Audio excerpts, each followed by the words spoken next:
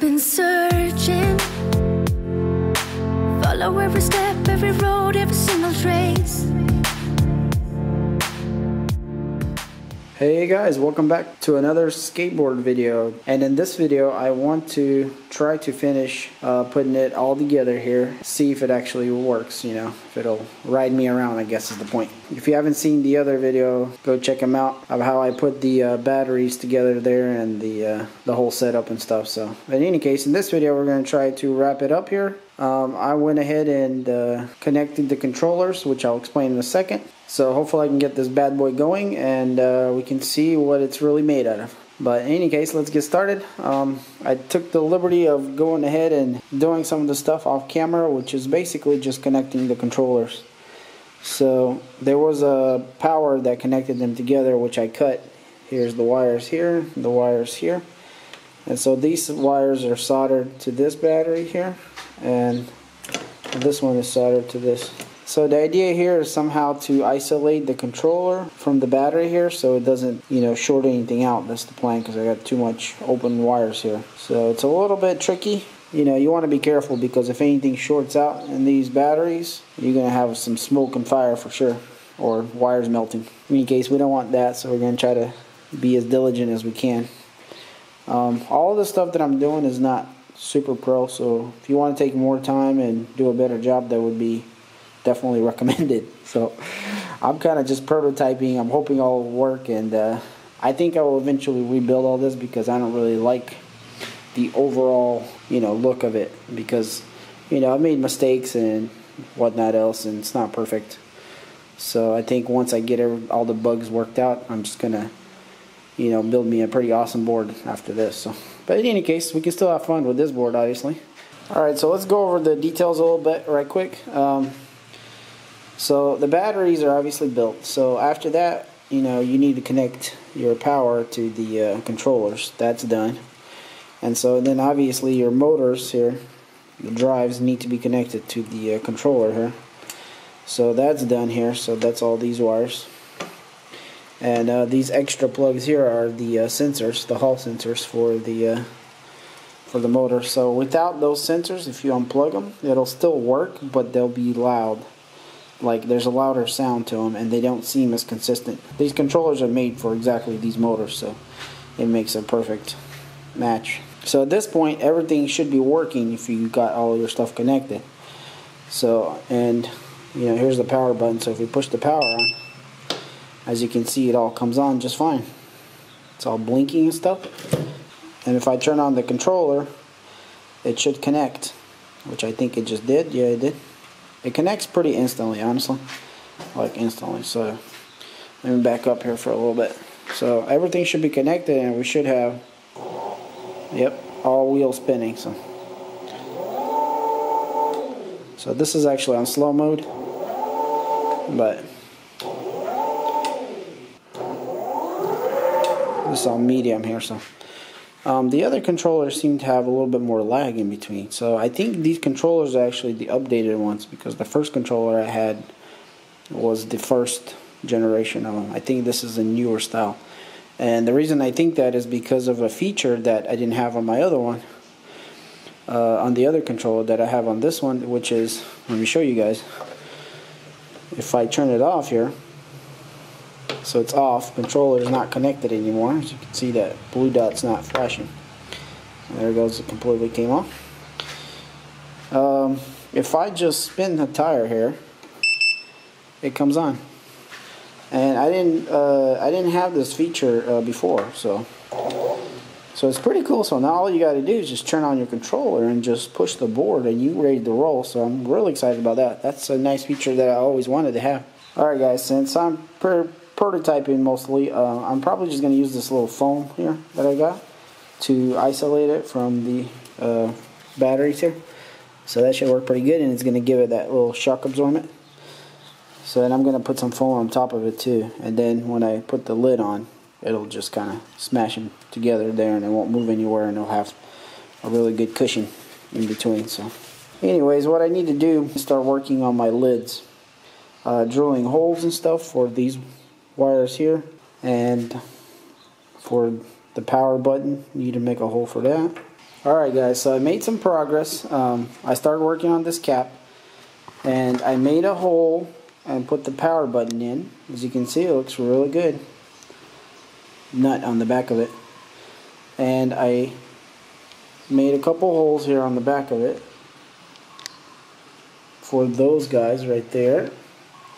And then I made a wide hole up front here, just not so tall but just wide for the little center. So I'm going to run these wires through here for now obviously because anything else I'd have to redo a lot of stuff so I don't want to do that right now. So anyways, and I got all this stuff tucked in here pretty nicely I think. Should be fine in this little foam. So when I put this on top it'll actually kind of just lightly, so lightly uh, push on it just a bit. So that'll keep it in place pretty good I think. But in any case, so I think this side's pretty much done. All I gotta do is plug this in and put this in. And then I can drill the holes around I'm probably only to put four screws for now. Um, actually, I still have to unsolder this power here and I have to work on that box. So, so I finally got this one on.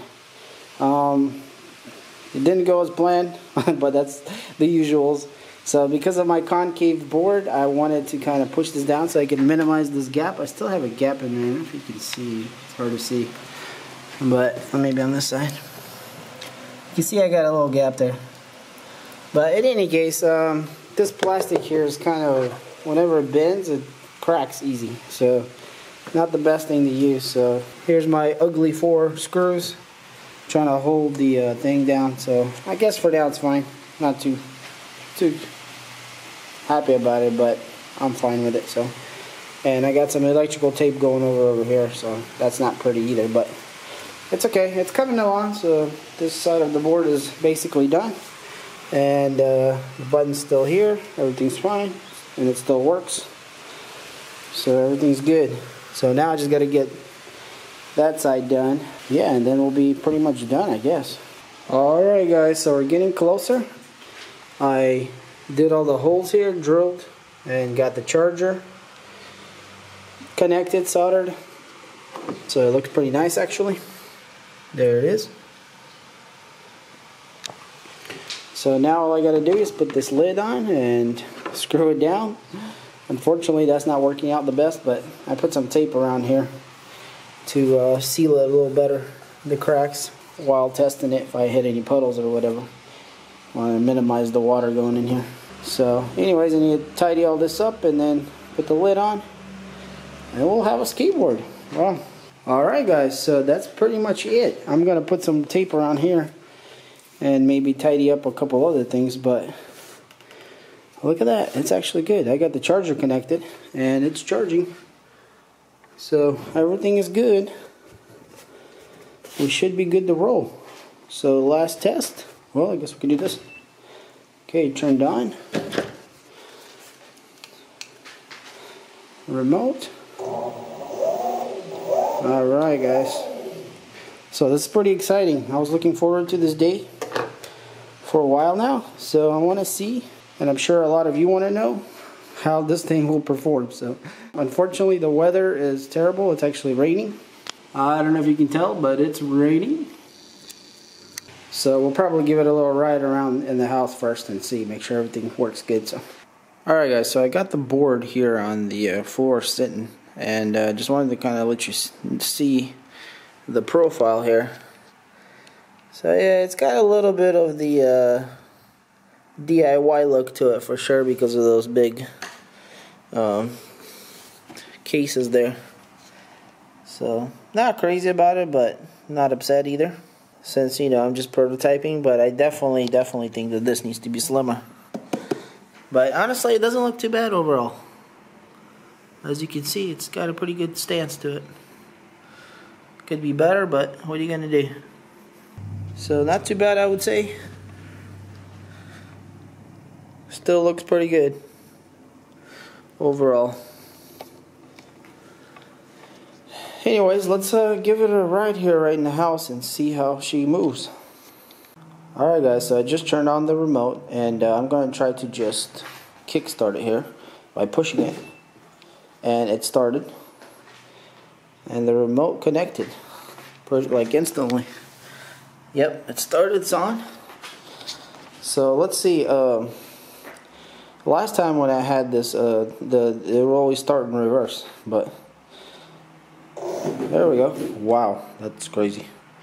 Just barely tapped that thing. Yeah, it's going forward now, so that's great. So let's push the uh, reverse button. Well, I can tell you that this thing is already uh, looking crazy. Alright, I'm going to get on it here. Oh man. Okay. Alright guys, I'm even scared to, to even try it in the house. It's it's ridiculous actually. It's got crazy torque. And I got the setting on the on the low, on the lowest one. So I don't know, this four-wheel drive is a beast. I have no doubt this thing is going to make up any hill. I don't know why, but I think it's, I, I, I can just feel it. So, anyways, I think it's to be crazy. Let's flip it around again. So, yeah, not too bad, not too bad. This tape doesn't really maybe look all that great either, but kind of peeling off here and there. That's okay for now. And if these were painted black, I think it would look better, but I don't know. So I hope you guys enjoyed this video. The next video is going to be actually uh, maybe a little bit of riding and, you know, maybe climbing some hills. Maybe getting a top speed. We'll see. I'm a little scared to get this thing too fast. I'm definitely going to be needing to wear a helmet now. If everything works out great, I'll probably keep using it like this for a little while just to make sure everything's great. Then I'll pop the covers off. I'll check everything, batteries, make sure they're charging and discharging good. And uh, yeah, and then uh, we'll go from there. I'm definitely going to be probably planning a new build for this whole system eventually, but that's later down the pipeline. In any case, guys, thanks for watching this video. Hopefully it was useful and it was a value where you could use the information to do your own builds. But I'm really happy with this thing. I think I will be.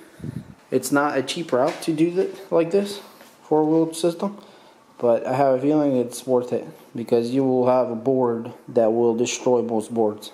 Anyways, and I think the new the new controllers in there have something to do with the power output, so I might have a lot higher speed than I did before. Because before I could only top out at about 20 miles per hour with my weight, so I have a feeling this one's going to do faster.